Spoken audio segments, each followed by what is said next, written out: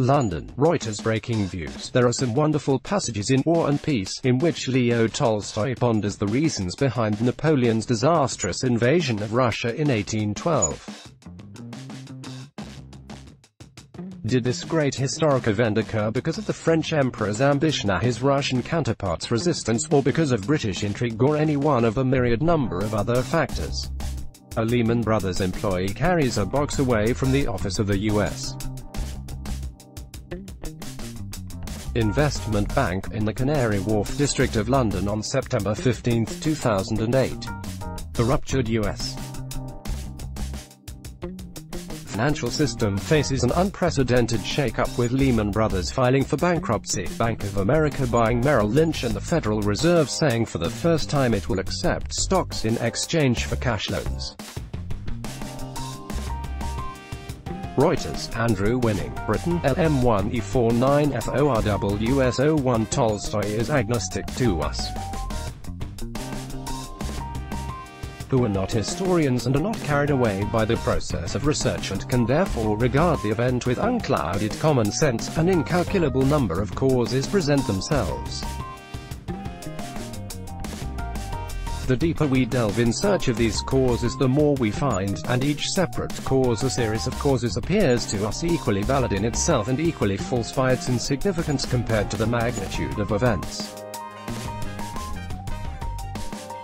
Tolstoy's ruminations spring to mind when one tries to make sense of the global financial crisis, a bloodless event which nevertheless produced untold misery and whose consequences we are destined to live with for a very long time.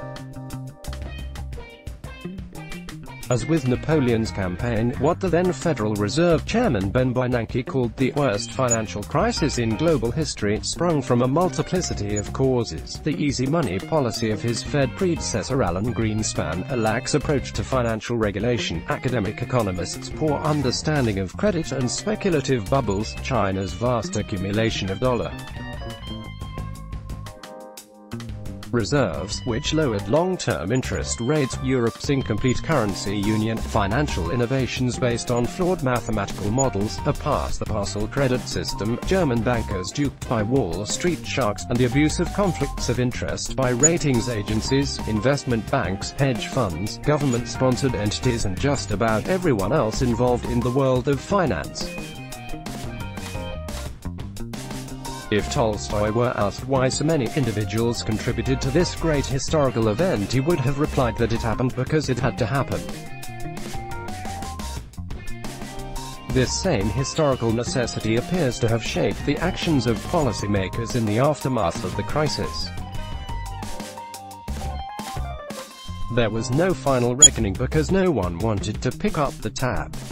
Instead, we got a policy of extend and pretend.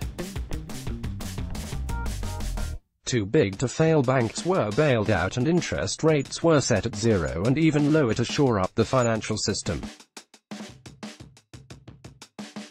Another spate of bubbles, in luxury property, technology, modern art, vintage cars and cryptocurrencies, were more or less deliberately inflated. China unleashed a credit-fueled investment boom, which consumed an ever greater share of the world's commodities.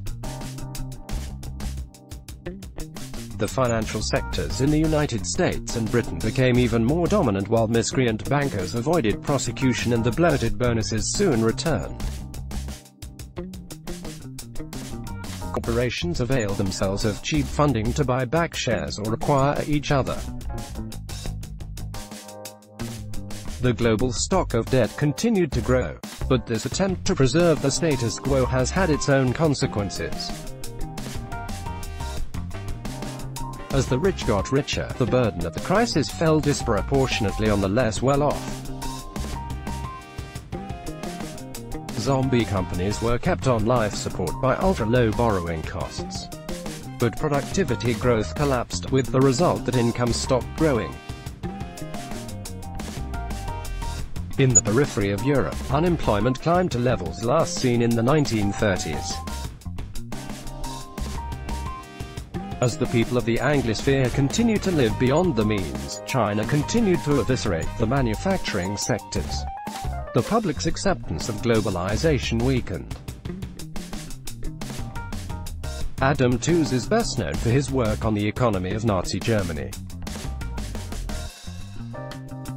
In Crashed, How a Decade of Financial Crises Changed the World, he brings a historian's understanding to the financial crisis and its aftermath.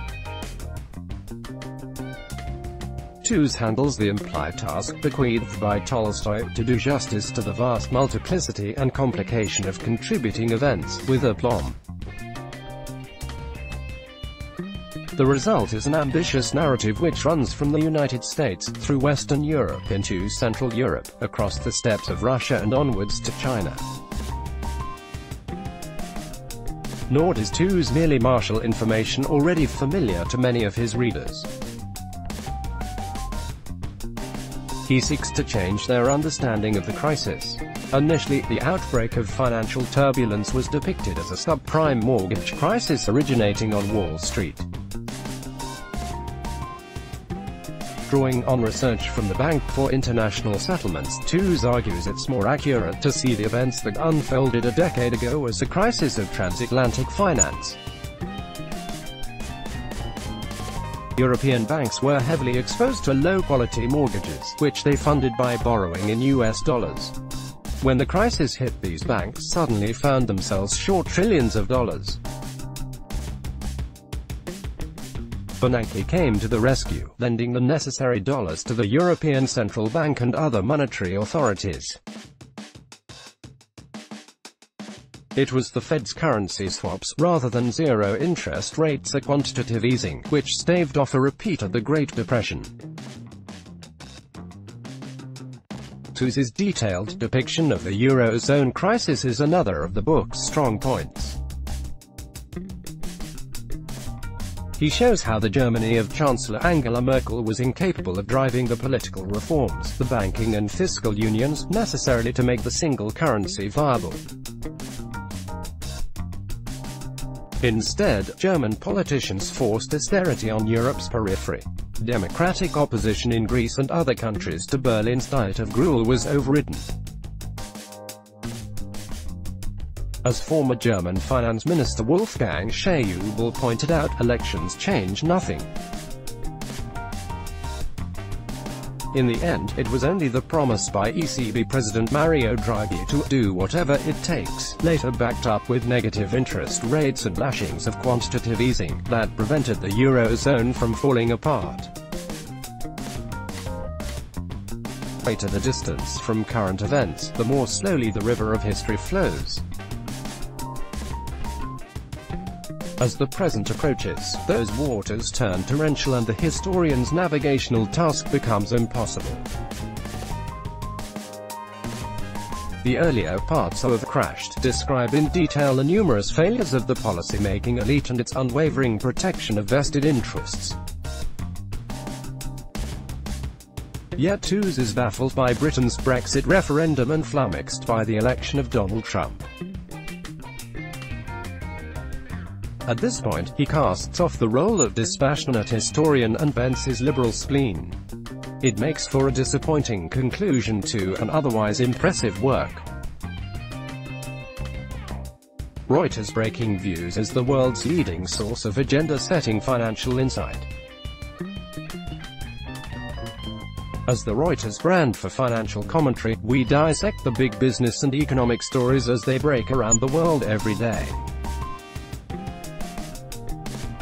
A global team of about 30 correspondents in New York, London, Hong Kong and other major cities provides expert analysis in real time.